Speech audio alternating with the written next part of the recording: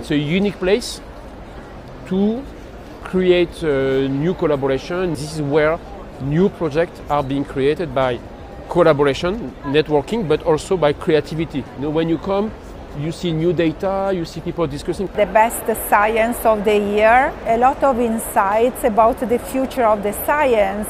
You get a good overview of the whole field of oncology and basically of whole can cancer treatments.